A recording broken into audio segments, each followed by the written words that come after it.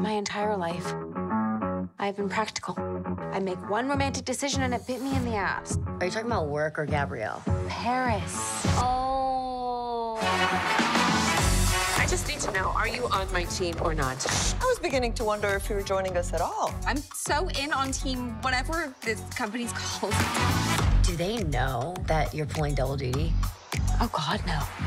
Sylvie wants to see you in her office right away. Is she really mad? I wish you well. Who can translate this? Not choosing is still choosing? Even not choosing has consequences, so it's still a choice. But how do we know we're making the right one? This is the hardest decision I've ever had to make.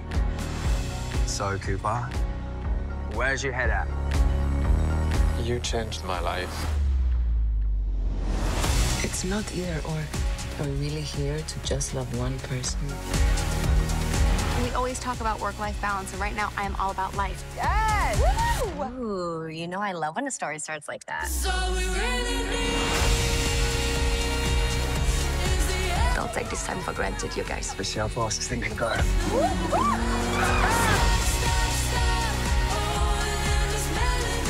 Why is he nervous? Because I'm so nervous.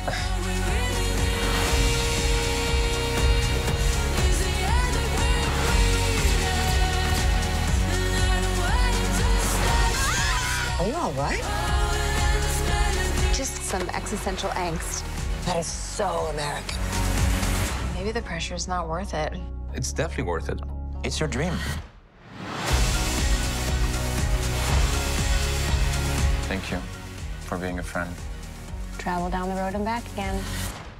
Golden Girls. Golden Girls? Never mind.